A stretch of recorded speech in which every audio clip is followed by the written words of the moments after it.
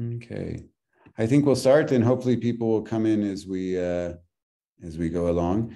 Uh, so welcome everybody. Uh, my name is Michael Victor. I'm the head of uh, knowledge management and communications at uh, ILRI at the International Livestock Research. You know, and on behalf of uh, ILRI and Venture 37, I'd like to welcome you to the uh, third and final uh, webinar of the, the year that we're going to have. And it's care about climate. You know, animal nutrition can make the difference. Uh, and this is the third in the series this year. We had the first one that focused really on livestock and nutrition and livestock's role as uh, in food security and uh, arresting malnutrition. Uh, and then the second one was on the critical crossroads of animal, human, and environmental health and how do we scale up One Health uh, livestock and nutrition. So we've had two, and this one kind of really focuses on the hidden benefits of animal nutrition and how that relates to, to climate change. So the objective of this uh, of this session is to demonstrate how investing in sustainable livestock development, you know, mainly through animal uh, nutrition and feeds and forages, uh, can help build farmer resilience uh, and adaptation to climate shocks and stressors, while at the same time uh, leading to the co-benefits of greenhouse gas emission, uh, mitigation of greenhouse gas emissions. And uh, here we're going to be highlighting some work from uh, the from the the livestock uh, uh, you know CGIAR research program on livestock, as well as a joint venture between ILRI and Venture 37 in East Africa, and really looking at the impact of alliances and how that really creates the sustainable impact that we're looking at. So it's not just research or development, but research development in the private sector and how they're working together. So we're going to have a quick introduction from uh, Di Harvey, and then we'll be having our lightning talks and then some discussion. Uh, Maddie, could you go to the tech tips really quickly? Uh, great. Uh, and I think everyone knows this after almost two years of uh, Zoom meetings, but uh, please, you know, change your name, put your your name and your uh, you know your affiliation where you are into your uh, into your name there.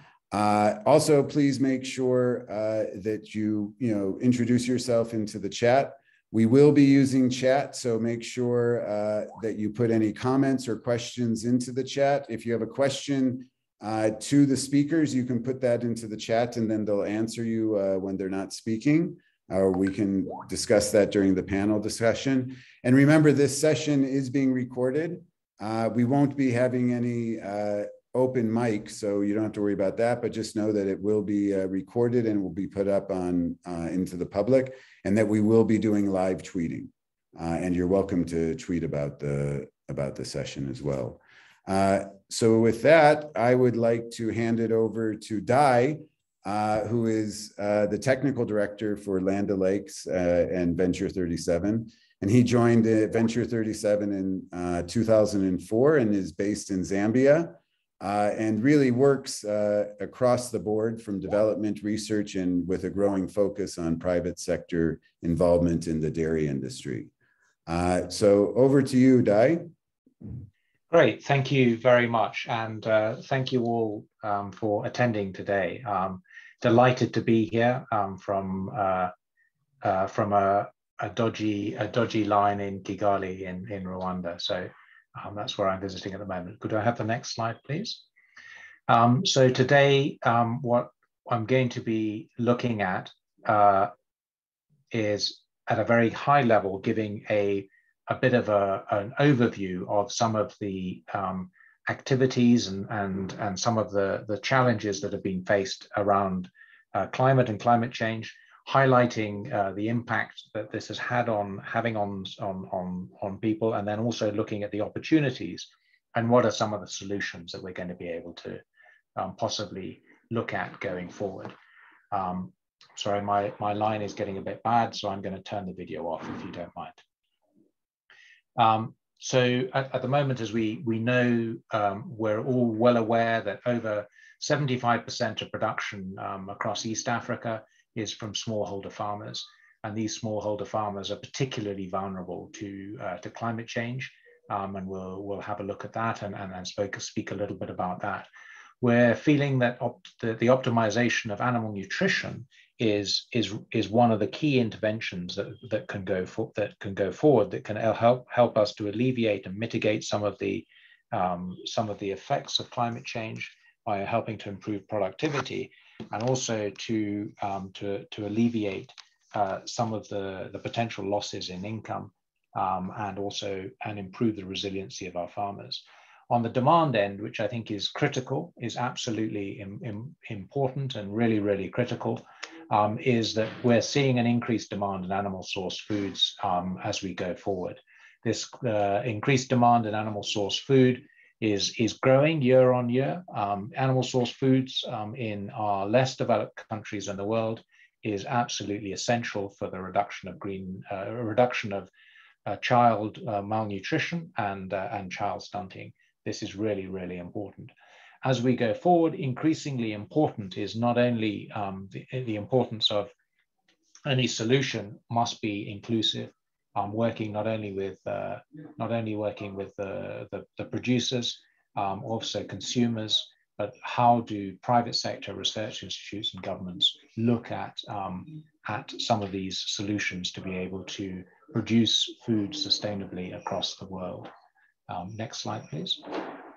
So there's been a lot of discussion over the last uh, few years. We've had COP, we've had lots of chat, lots of discussions around how climate change is, is affecting farmers, affecting agriculture, and affecting primary production. Um, this is highlighted, we're well aware that the variability in climate is not only a, a challenge, a physical challenge, as we can see from this awful slide here that we can see of massive amounts of land being flooded through Cyclone Idai.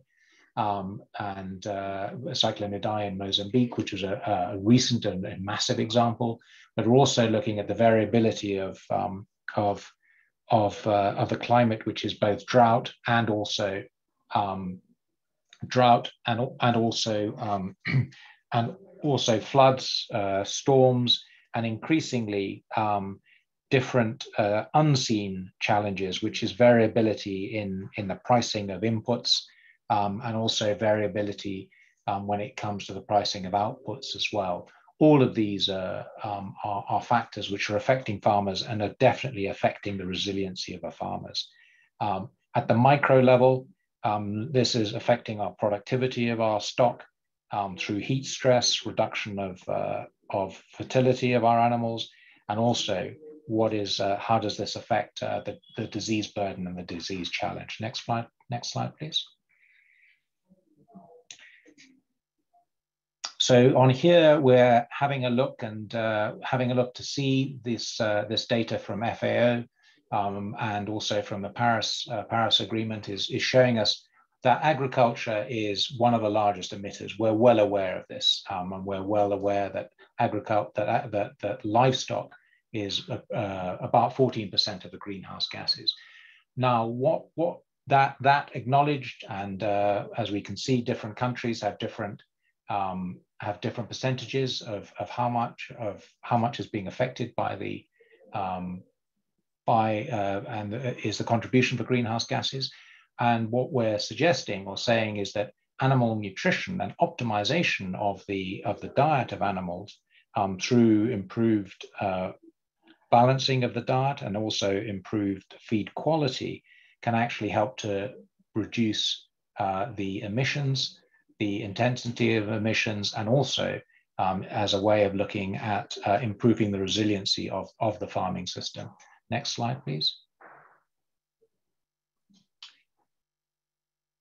On, on, on this slide here, we uh, just highlighting uh, very much, and will you will be hearing from the other speakers um, later on today in the flash talk, uh, a much more detailed uh, one-on-one -on -one items of what's going on uh, and what's happening across uh, different different sectors and different areas. Um, and we'd really encourage you to, to, to dig in and to give give a give a bit of discussions. We've identified with ILRI and with the other alliance partners um, that really the fastest way to improve productivity is looking at how can we improve um, animal nutrition and get that um, and get that productivity up as, as quickly as possible. Focusing on, uh, on nutrient dense forages um, which are being produced locally for local cows, moving um, local cows and local ruminants, moving them in the direction um, as, as little as possible. Um, so we're not affecting the climate um, anymore by having to move large quantities of food around. In addition to this, is being able to look at the farming system itself and how do we look and improve the post-harvest losses and the storage um, to in, in look at adaptability of the farmers and improve their resiliency. Next slide, please.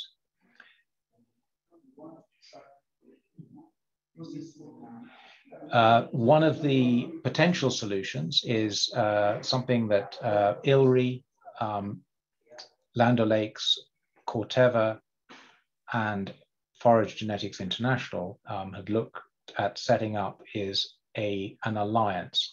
This is an alliance model which is looking at both private sector, um, looking at uh, a research institute uh, like ILRI, and then uh, an NGO, um, an implementing partner like Venture 37, at looking at a at the at the forage value chain from end to end.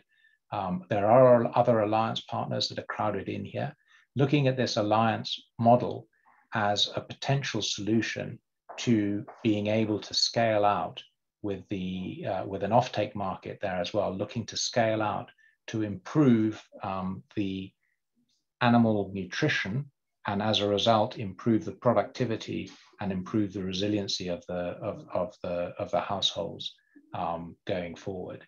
This alliance model will will have a couple of speakers who will get into a little bit more detail about this. This alliance model has been running now for approximately two years. Um, uh, it's 18 months now in, in, in, in Kenya, um, and we'll be um, digging into a little bit more detail of exactly how that works. Um, but this is a potential um, opportunity and a potential model for um, improving that uh, quality of the forage at the household level. Next, next slide, please. preliminary results from the uh, alliance. It is a, it's a very small pilot model, but there are about 3,500 farmers who've been trained. And our early signs from the um, improved productivity is over 24% of productivity, and with a reduction in the in the methane intensity of, of uh, the estimated reduction of methane intensity of just under 20%. Um, and the CO2 as well, you can see there similar um, reduction um, on that side. These are these are estimated um, figures by by working this out, but this is gives you some idea of uh, of the opportunity when you're looking at balancing a diet and optimizing um, optimizing a diet um, with uh, with ruminants. This has been focused really on dairy cattle, but this is something that could also be could happen uh, across across the region and across the area. And we feel that this is a is a potentially innovative and quite a quite a cost-effective way of, of getting sustainable change in our in our agricultural systems and in particular in the production of animal source foods, which we know is so important for um, our for our um, target um, populations and especially targeting that that uh, that child mal malnutrition in the first thousand days of life. Thank you very much um, for that. And uh, I will hand over back to Michael to go through our flash talks, which um, I'm uh, uh, looking very much looking forward to. Excellent. Uh, thanks, Dai. Uh, like We have three today after dice presentation. We have three uh, really interesting presentations. First from Anne, and then uh, two from the uh, the Alliance to look at uh, different angles of that. So I'd, I'd like to welcome Anne. I think you're going to be speaking directly, Anne, yes? Uh, are you there, Anne? Uh, so I'd like to, to welcome Anne uh, who is the thematic leader for tropical forages uh, in Africa for the Alliance of uh, Biodiversity International in CIAT of the CGIAR, and also worked on the CGIAR research program for livestock as well. Uh, so over to you, Anne. Good morning or good afternoon, everybody. Today I will be talking about improved forages. And the improved forages will thereby be framed as one means of managing the sustainability of the livestock sector, which is indeed a big issue and something that needs to be managed. Allow me to immediately zoom into the greenhouse gas emissions on this slide. And now, how do we deal with um, trying to reduce the greenhouse gas emissions? I think we're all very well aware about people advocating for reducing livestock numbers. Um, and we also do um, see solutions for increasing the efficiency of livestock production. So obviously, or I think at least that this should need not be one or the other, but that we need to work on both pathways. The second big environmental issue associated with livestock production is the land use. To give you a little bit of a, of a picture, uh, planted forages can be far, found on about 159 million hectares, which is almost as much as rice. And the big issue is now that the use of land for feed production actually comes with a big opportunity cost. That same land could also be used for plant-based food production, for carbon storage, for biodiversity conservation. So it is therefore really important that we start thinking carefully about where do we produce the feed. So therefore the mention of spatial targeting there. At the same time, if we use the land for feed production, we better do it in an as efficient or productive way as possible. We do have to do this without compromising the positive contributions of livestock. So issue, the issue really becomes how to optimize the environmental footprint. And as if all of that was not complex enough, we also have to deal with the impact of climate change on livestock, which can be direct impact or heat stress or indirect impact. Potentially, the biggest indirect impact is, through, is mediated through the impact on feeds and forages. The impact of climate change on feeds and forages will be felt in terms of quantity, quality, as well as composition. The graph on the right is just to illustrate how important grasses are in feed baskets across different systems and different species. And the maps on the bottom show how suitability of two grasses, Napier grass and Brachiaria grass, is likely to change as a result of changing climate. So that is where we now um, propose uh, improved forages and their integration in livestock production systems as a true triple win or a true climate smart intervention. So at the bottom, you see a typical situation in a smallholder farming system where during the dry season there is reduced feed availability, which uh, results in uh, very low uh, productivity, uh, in some cases to mortality. So by integrating improved forages in your systems, you can actually increase the year-round availability of food quantity, of feed quantity, and also that uh, feed is of, of high quality. And if you choose your forage species carefully, you can also make sure that they are adapted to the changing climate. And that is a very good way of increasing livestock productivity. Also, because, as you can see on the right hand side there, the better you feed your cows, the less methane you produce per kilogram of milk. You can also reduce the greenhouse gas emission intensity. And at the same time, by uh, choosing high productive forages, you can improve your land productivity.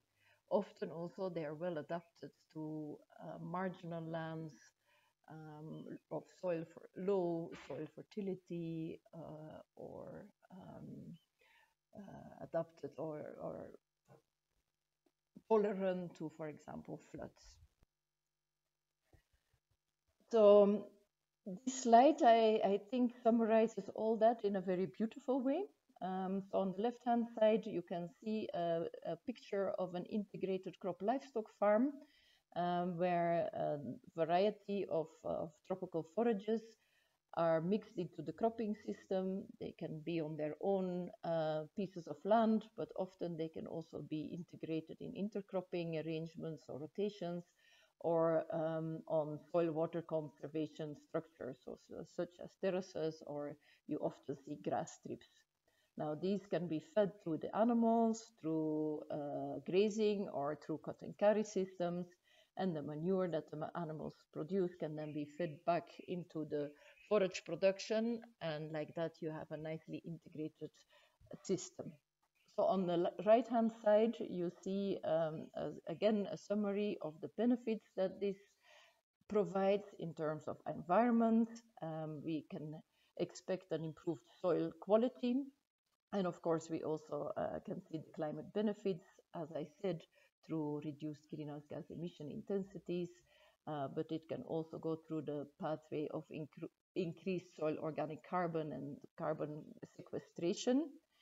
Um, we can also expect reduced water use and, um, and positive impacts on biodiversity through less pressure on land, but also sometimes through uh, restoration of degraded land. And then, of course, at the bottom, the very important livelihood gains um, in, in the form of healthier and more productive animals, uh, which produce more milk, which can translate into better food and nutrition security or in more income or in a more diversified income. And through the manure, you can also expect some improved crop yields or through reduction in erosion. So in conclusion, so although improved forages really do provide a pathway for sustainable intensification of livestock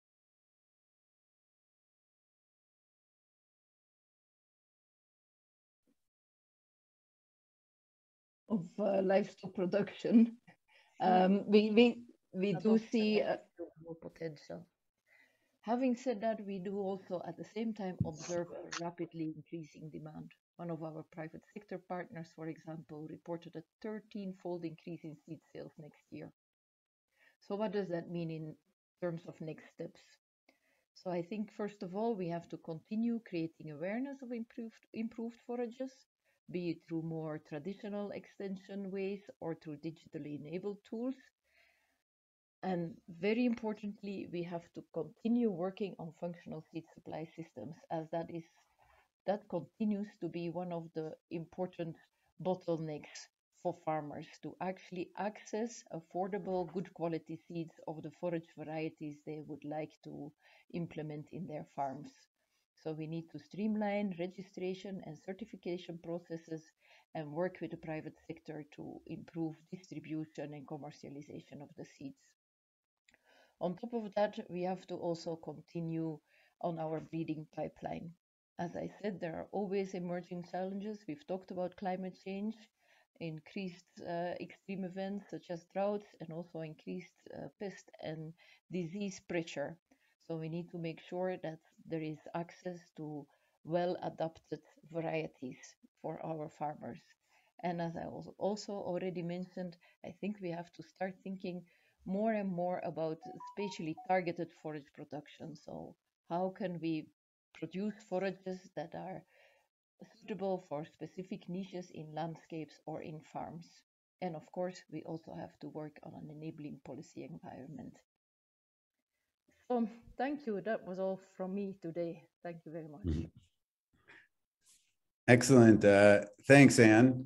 Uh, that was great. And it really does show the kind of triple wins that you're getting from improved uh, uh feeds and forages, particularly around the environmental benefits and the, the co-benefit of uh, mitigation, uh, looking at the livelihood gains and the productivity gains. That's really great. And, and I think your conclusions really feed into what we'll hear now from the Kenya Nourishing Prosperity Alliance work that they're doing on some aspects of this, uh, some aspects of this. So I'd like to introduce uh, uh, uh Chemtai, uh, who is uh, an agronomy and forage technical expert and working for the Kenya Nourishing Prosperity Alliance.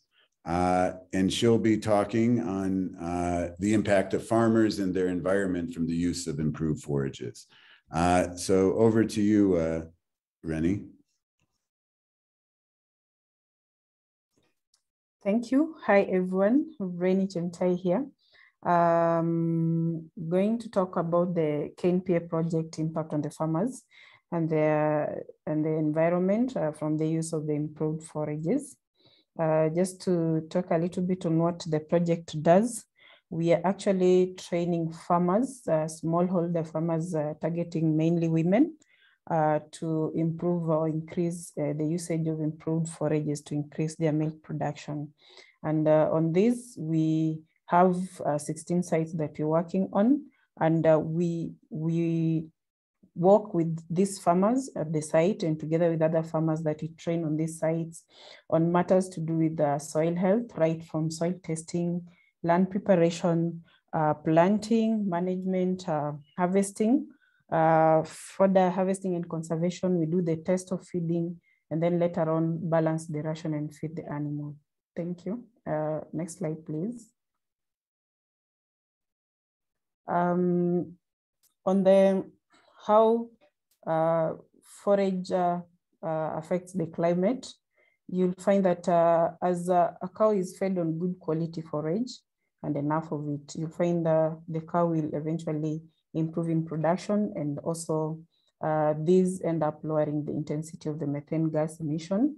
Uh, but the question is why are the smallholders still not there in terms of the uh, good quality forage and availability? Uh, there are many reasons, but I'll uh, focus on main, major two. Uh, first, you'll find that um, their farmers will only use what is available. So, uh, for example, currently, uh, locally, farmers can easily access, let's say, the low quality hay and maybe a little bit of Napier grass. And that really limits them because they're not, they're not able to access the good improved forages. Uh, also, there's a problem in supply of inputs, the seeds, as I said, and also maybe the fertilizer, equipment, for, for example, such as the uh, forage harvesters. A farmer who decides to plant maize ends up not having the good forage harvester that will produce a good uh, quality forage. Um, another problem or another challenge that you get is uh, there's very little knowledge and information that these farmers have. And uh, right from the agronomist, uh, the agronomy to the feeding of the cow, farmers, most of them don't know that you're supposed to test your soil. And if that is it, they, they also don't know the right type of fertilizer to use for a particular crop or when you're establishing a particular forage. Knowledge on the available quality forages or the improved forages, most of it is very little or even not, not available. And uh, some farmers, when it comes to knowledge, like even establishing some of these forages, especially the forage like Lucerne, uh, uh, stage of harvesting such kind of forages, and uh, even being able to balance the rations and feed the dairy cow, it's still a really big issue with the farmers. Next slide, please. Okay, something else we've also seen on the ground is um, from the project, there's a really good uh, decrease in the cost of production. You'll find uh, uh, from what the project is doing, right from soil testing to being able to harvest the feed, test and balance and feed the cow. Um, there are good yields reported from the variety of forages that you're planting. And uh, from these, a farmer is able to produce a particular kind of forage at a very lower cost, maybe for a kg. And this really helps to curb uh, problems, uh, for example, buying uh, low quality hay at, uh, mm, let's say, around 12 shillings, 20 shillings per kilo right now, and compared to producing, let's say, for example, a kilo of sorghum, forage sorghum, uh, forage maize at uh, around two, three shillings per kilo, which is quality. Um, something else you find that um, even through the process that we have, uh, a farmer is able to know what crop or what forage is doing well in the environment and being able to focus on that and also be able to produce as much as it can um, and uh, at a very low cost. I can use a good example of, uh, let's say the maize silage. The local, the locally available maize silage in market uh, goes at 12 bob. And if you add transport maybe to the farm level, uh, that will cost around 15 bob. But from the sites, uh, when a farmer gets to plant at their own sites, a kg of um, maize silage will go between two, bob, uh, two, two and five shillings, uh, Kenyan shillings, sorry. Uh, next slide, please. Um, there's uh, improved uh, milk production being recorded on the farm. Uh, from the forages that are being produced in the project, we're able to do testing to be able to know the nutrient content in terms of protein, energy, uh, using the locally available testing facilities, uh, such as the CropNuts and also ILRI. Um, we are able to do some feeding trials with the feeds that we've established. And uh, this is done by two, using two to three cows, depending on the availability of the forage on each particular site. And we are able to feed these cows and uh, uh, monitor them uh, in a period of two weeks. And uh, how we do it, we actually use what a farmer has uh, together with what has been established in the project to balance the feed. And uh, this is done by the help of a ruminate tool, especially for the emerging farmers, and also the ILRI uh, feed tool for the smallholders farmers. And uh, this has really been able to help us do that. And um, uh, from the data, you're able to see how the production is coming out along. And also still from the data, if you compare the current rations before the, the new ration, the improved one, you, you're able to see also the methane gas emission. With improved production, you see the intensity of methane gas emission going down also. Next slide, please. Um, it's also exciting and very encouraging how farmers also get engaged in uh, several activities that we do on the ground. Um, one of the activities we've seen, uh, if you compare now, for example, from the baseline when we began, uh, the average production per cow per day. And currently, uh, now that feed is available in plenty and in good quality, you find that uh, there's good increased production at the farm and uh, the farmers are happy. This you get from the feedback from farmer. I'll quote one of the farmer from whatever uh, she was able to share that uh, since we came on the ground, uh, we we really came at the right time when she was almost giving up, and uh, we were able to walk through with him, with her, sorry, and uh, currently he sees his production going up, and uh, he's uh, he has begun, and he wants to to go through and get his target, her target of two, 200 kgs to begin with, that is of milk production, which is good. And um, one also farmer gave a good feedback on the improvement on the milk quality. Uh, that since he began using uh, Lucerne to feed his cattle, uh, his her wife, who is um, who, who runs a coffee shop, the customers were really giving good feedback that uh, the white coffee is has good taste, and also the, he, he, he has been also having uh, quality issues in terms of density with the cooperative society where he sells his milk. And that has really also stopped from the use of, uh, when he began to use uh, these forages. And then uh, also milk consumption has also gone up. Some communities that we deal with, they really value consuming milk. But since milk at the initial stages was very little, you find it's not enough for the, for the family. And uh, currently they have at least enough and then even can get more to sell. And uh, over time of period, we expect the improvement of the body condition of the animals.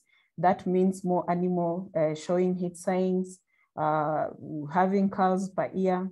That means more cows and uh, this farmer is able even to get more income by selling excess uh, cows on the farm. Thank you.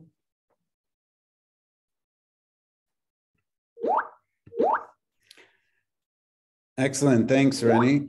Uh, so now we'd like to go over to the private sector, and we have a, a great uh, presentation to complement uh, Rennie's looking at private sector investment. So uh, I'd like to hand it over to uh, Humphrey uh, Kiroe, who is the country lead for Kenya and the Great Lakes region for Corteva AgriScience and part of this alliance as well. So over to you, Humphrey. Oh, thank you, Michael. Today, I will uh, take you through some um, investment opportunities that are available within the forager space in the country.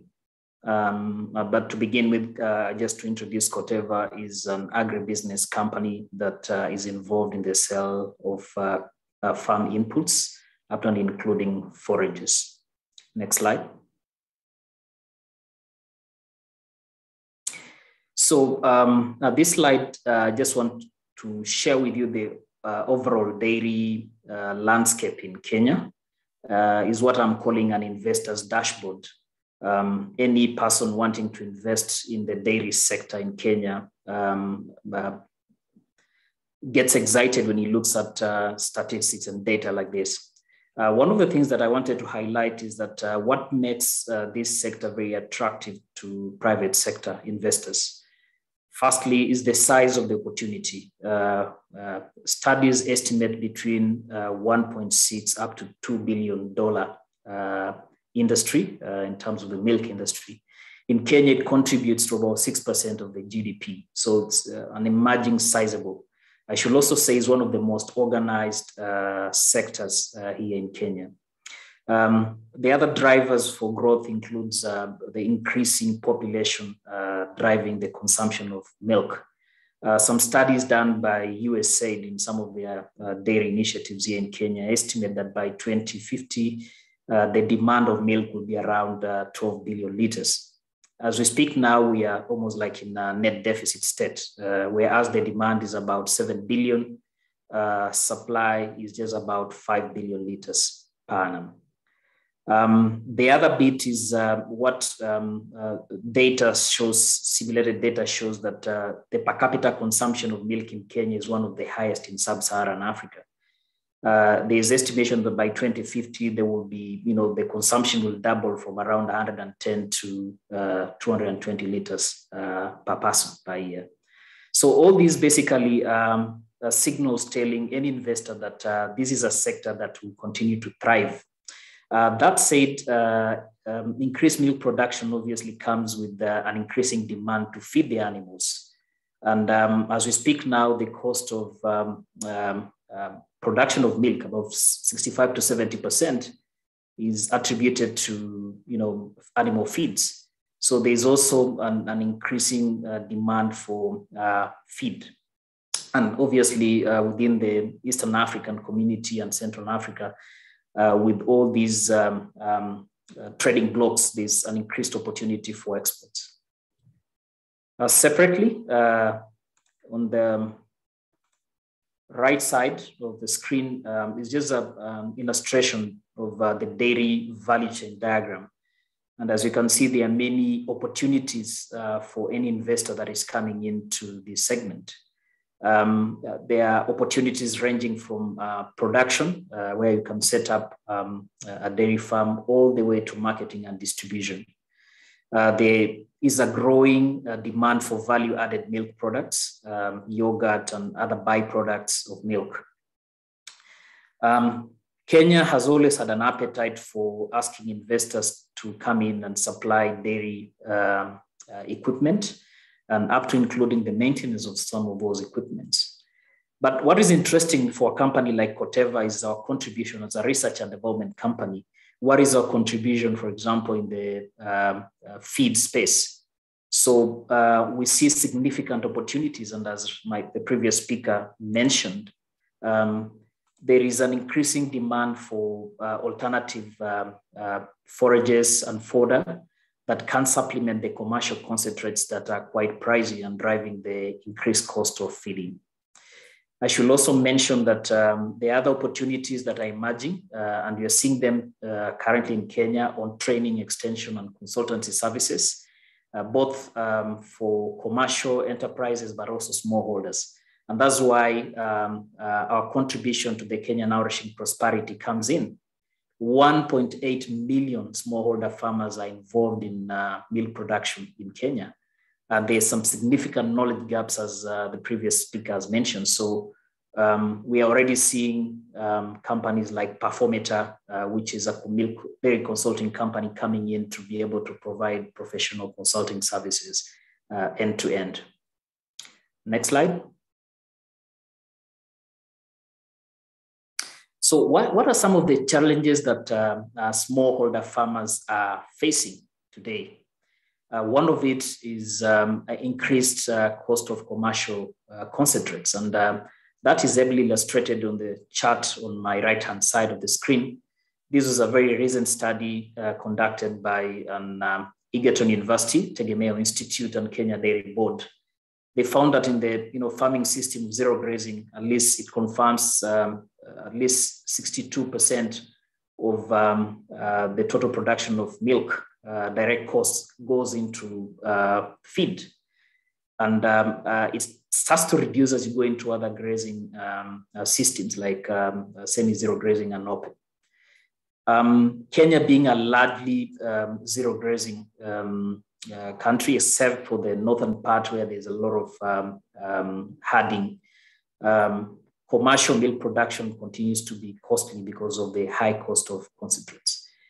Uh, with the weather challenges um, and varieties of weather that comes in, it's, it's very difficult to maintain uh, a stable year-round production um, access to um, animal feed and most of the forages. So farmers actually will struggle a lot during episodes of drought uh, to access um, feed. And as the previous speaker mentioned also, there is an increasing demand for uh, customized total mix ratios for farms. And that is driving farmers to start to think about supplementing commercial concentrates with um, other forages. Uh, we are seeing an emerging trend of food safety um, and a, a, better demand not only for uh, quantity but quality, with challenges of aflatoxin and other mycotoxins in milk. Um, it, it, it, actually calls for um, very good quality um, animal feed to make sure that the food safety standards are adhered. So that continues to be a pain point for farmers. But also there's, uh, with climate change, there's need for resilient uh, forages and fodder. So um, we're starting to see trends in Kenya where we are uh, seeing palm millets and, and uh, sorghum uh, silage being produced by farms. For any investor like Corteva, we are looking at, for example, input cells, um, accessing quality uh, planting material and seeds, and especially in the fodder and forage space uh, is one of the areas that we are including in our business um, um, plans. And we're already starting to invest in Kenya. Uh, there's also a growing demand for inoculants, especially for uh, farmers that are actually doing um, uh, corn silage and ensiling. And um, also, we are seeing some new business models emerging uh, where silage entrepreneurs uh, are coming in to guarantee um, uh, full year production. So they are contracting small scale farmers and dairy enterprises to ensure that they are able to avail them good quality forages. Other opportunities include baling services uh, and also mechanization services. As the previous speaker mentioned, uh, we are currently struggling with um, the challenges of having good quality machinery, for example, for uh, silage harvesting, um, we have opportunities for companies like John Deere to invest in this space and many other companies that uh, are involved in that. Uh, some pictures there showing some of the you know practices uh, in Kenya, people trying to do some uh, uh ensiling and also a growing demand for um, wrapped silage. Next slide. So um, as I was looking at the Kenyan landscape, I was trying to look at what are some of the challenges and opportunities that uh, emerge and, and trying to tie that to aspects of uh, uh, climate change. Um, so one of it is uh, the use of adaptive technologies. So um, whereas most of these will revolve around uh, research and development into you know forages and fodder that have low, for example, methane emissions. Uh, that is an opportunity for um, uh, companies that sell input like ourselves to consider. But there's also um, an opportunity, uh, for example, for um, practices that are integrating soil management, uh, fertility management. We are starting to see uh, some um, uh, forages that are very nitrogen efficient. For example, Corteva sells some um, corn silages that have better efficient use of nitrogen uh, in the soil. And also for uh, animal breeders, I'm sure a good size of the panelists are involved in this. Uh, there's need also to focus on improved um, um, both indigenous and exotic uh, breeds that uh, reduce um, uh, emissions. Uh, the other area to think about is Humphrey? efficient. could we please, please try to finish up, okay? Yes, so as I wrap up, which is this is the last slide, is uh, the other opportunities within um, uh, the irrigation space uh, where we can um, introduce some uh, solar powered irrigation system and other value addition um, opportunities. So um, next slide. Thank you for your attention. Great. Uh, thank you so much, Humphrey. Uh, that's great. Uh, can we uh, please have maybe put all the speakers uh, on? That would be great. Uh, we have about 10 minutes for questions now. Maddie, could you maybe just put everybody's camera on? If every, if all the speakers can put their camera on, that would be great. We had a lot of questions and, and I see a great new, uh, a great session that we can do next year, really looking at greenhouse gas uh, emissions and mitigation efforts, maybe something around that and even the genetics on uh, on the genetics of breeding and, and how that affects greenhouse gas emissions. So I think this there's been a lot of questions, a lot of chat in the uh, in you know a lot of discussion in the chat. So we'd like to continue that, uh, but we'll try to ask some questions that came up in the chat and that were weren't answered uh, to the different speakers. Uh, maybe I could start with uh, Anne and looking at this, you know, greenhouse gas emissions and how we're estimating those. Uh, Anne, did you have some comments or thoughts on that? And could you could explain how how we estimate uh, greenhouse gas emissions and how you're doing that? Sure. I, I'm I'm not super familiar with the project uh, that was um, where this question was uh, directed to, but in general, um, there are a few places in the world where they actually do actual measurements of greenhouse gas emissions. The Mazingira lab at ILRI is one. We do some at the Alliance in, in Colombia, but that is very expensive and you cannot really get um, really data that, uh, that covers wide areas. So the general practice is to actually estimate it based on activity data. So how many animals, how much do they eat, what is the quality of the feed, and then use um, standard equations uh, to estimate um, what this means in terms of greenhouse gas emissions. And the quality of the feed is a big um, uh, factor in those calculations. Excellent. Dai, did you have anything you wanted to add on to that? Um, yeah, just just re re-emphasizing um, the quality of the feed. Uh, the so that's the the size, the the chop length of the feed, and then the nutrient density within that feed. So in, a, in simplistic terms, the better the quality of the food, the less energy that's required for that animal to, to, to digest it and to, to ruminate it. So just in, in very simple layman terms, that's, uh, that's uh, one of the, the areas which is, which is so important. And that optimization of the diet, again, me, making sure that the animal has got the optimum um, diet is really important. Okay, great. Uh, and again, with this mitigation issue, we, as Anne mentioned about Mazingira and their work in uh, in Colombia, I think this is something that we'll bring up next year as well, and maybe have a special uh, talk to really look at mitigation efforts and some of the science behind that, using some of the work that Mazingira and others are doing. So uh, we'll keep that in mind. Uh, so Rennie, I just wanted to talk to you a bit about. We had a, a question uh, from uh, you know, from some of the some from some of the participants about, you know, what are the the strategies to get farmers to adopt uh, climate resilient technologies, uh, but they might want to prefer growing another crop that they can have more returns uh, and use, uh, you know, reuse feed, uh, use residues to feed their animals, which increase GHG.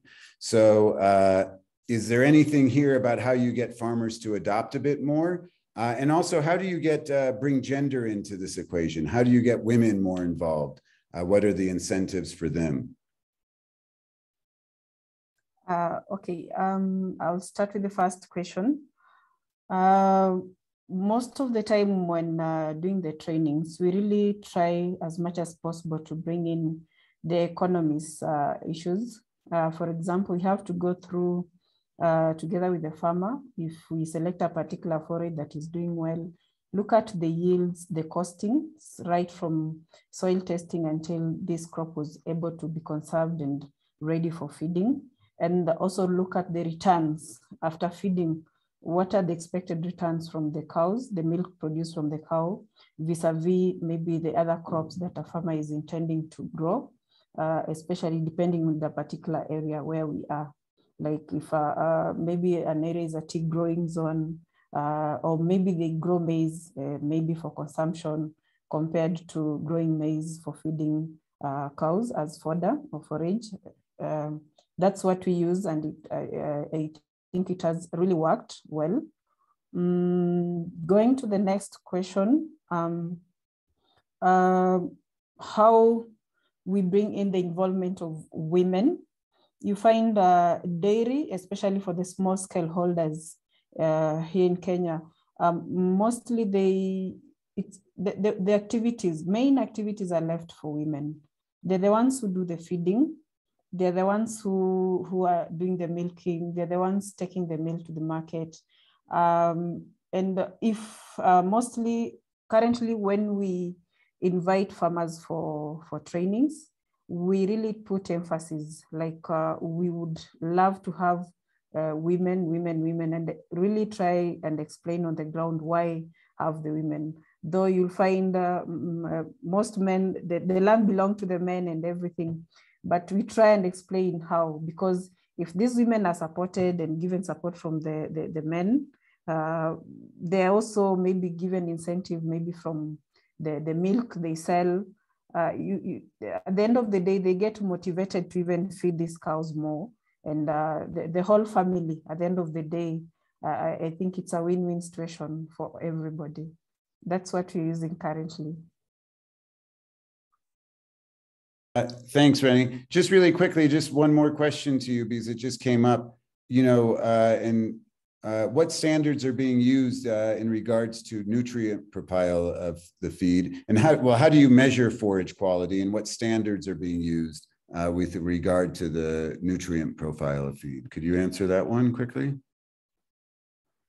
Uh, sorry, just repeat it again.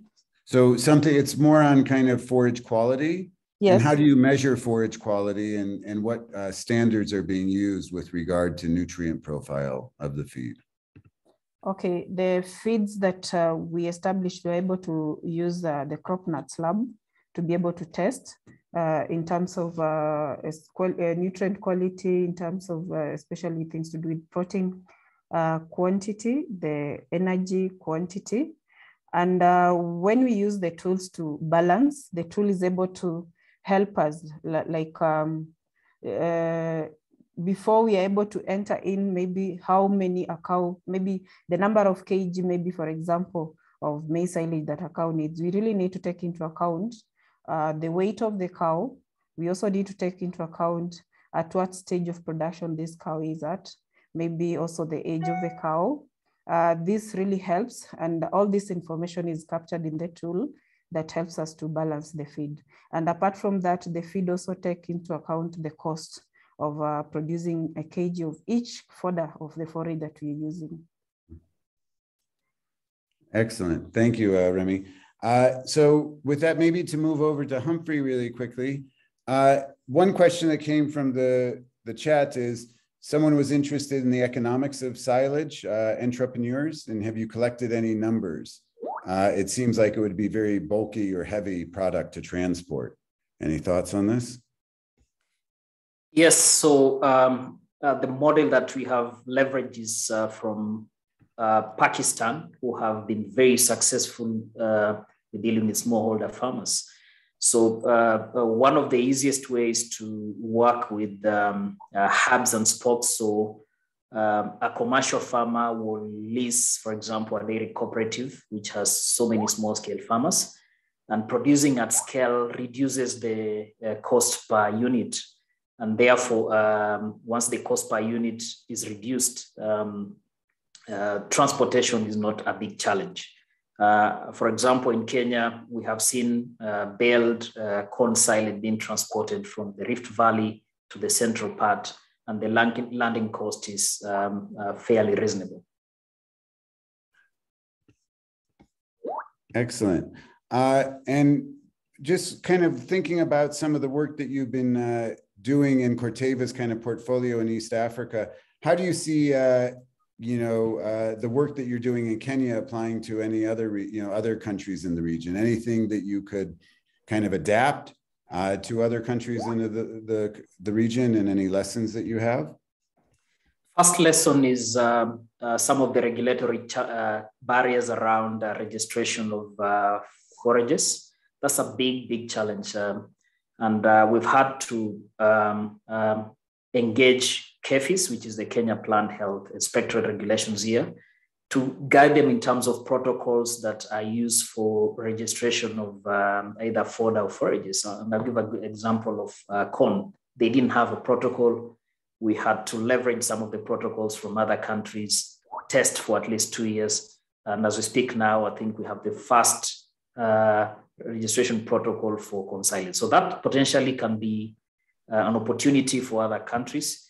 Uh, secondly, is the business models um, working around small scale farmers that have very limited land. The economics of producing in very little land consistently uh, is a challenge. So working with commercial enterprises that are able to produce these at scale and selling at an affordable price to farmers makes sense rather than just farmers trying to produce in their own small ways. So those are maybe two quick lessons, Michael.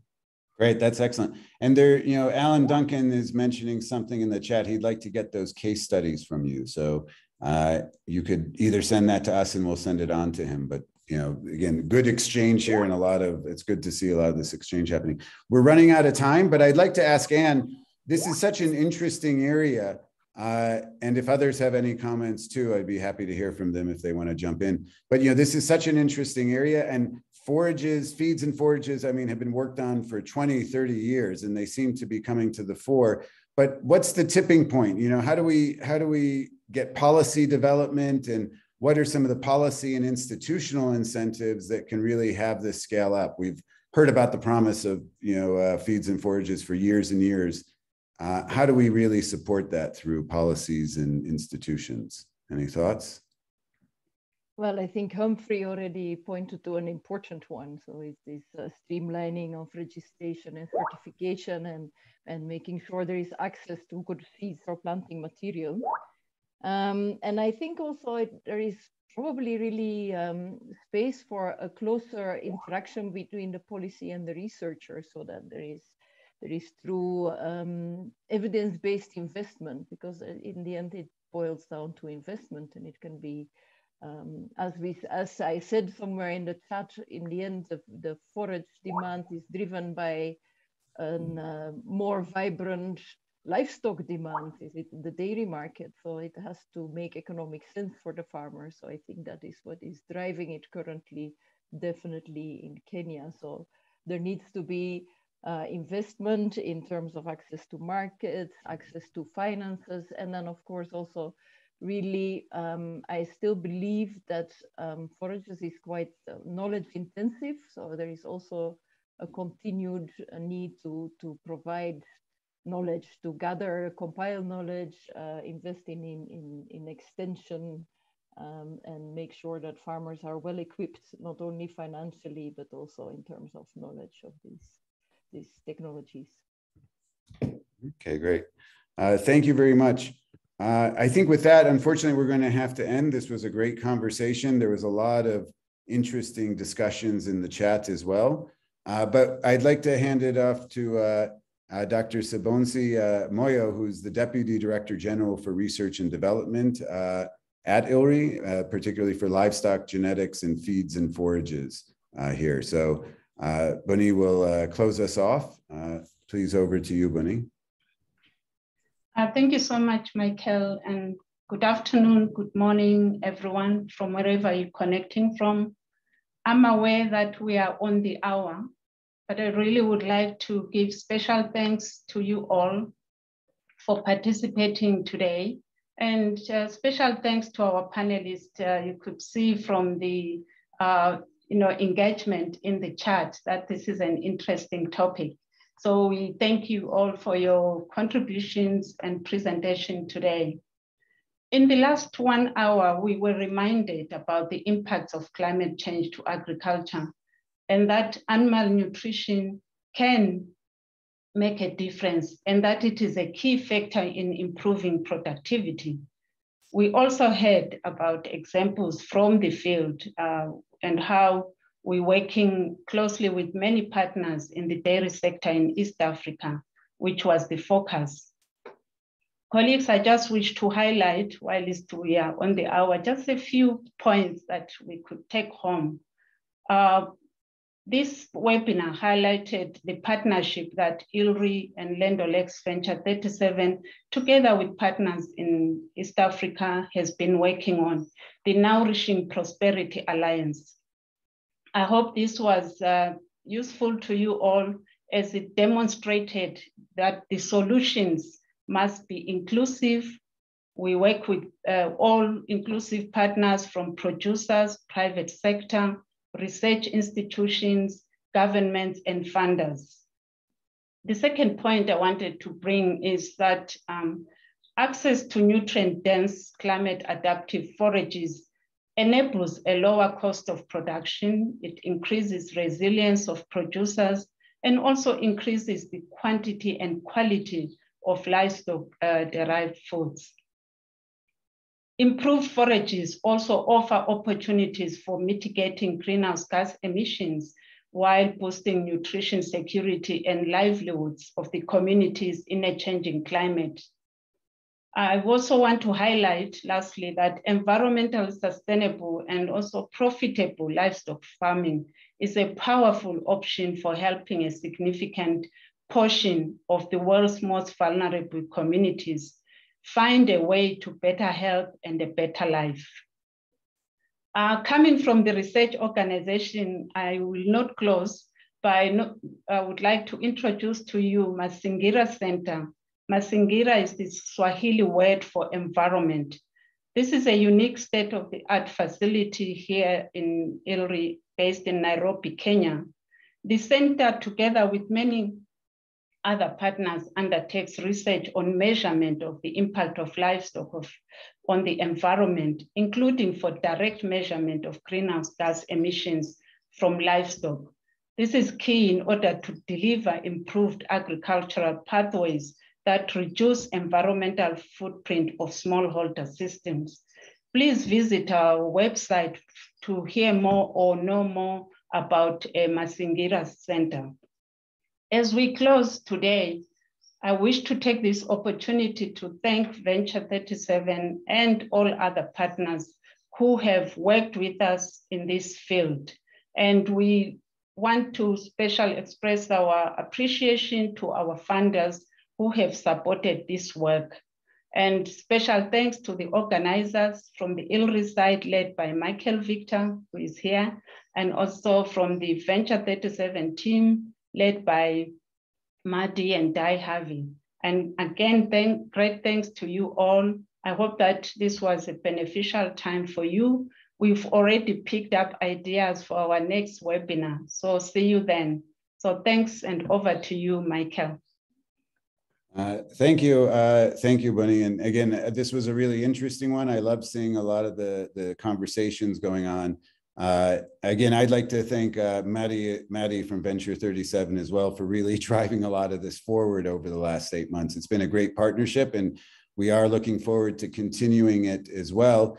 And yeah, just really quickly, two minutes if you, or one minute, if you have any ideas or good suggestions for webinars next year uh, for this, you know, uh, Venture 37 and ILRI led kind of webinar series, focused on you know the benefits of livestock to development and really looking at it from uh, the on the ground perspective. Just put them in the chat right now. Spend 20 seconds and any topics issues that you think we should tackle uh, it would be great to get your inputs in. And we'll probably send out a evaluation as well. So uh, we can get some inputs from there. But any any comments or thoughts you have do please put in the chat and we'll take them up in the new year uh, so with that, I would like to thank everybody for joining. Uh, and, and again, we hope to see all of you in the new year when we have new topics and new issues to, to, to tackle. Thank you very much.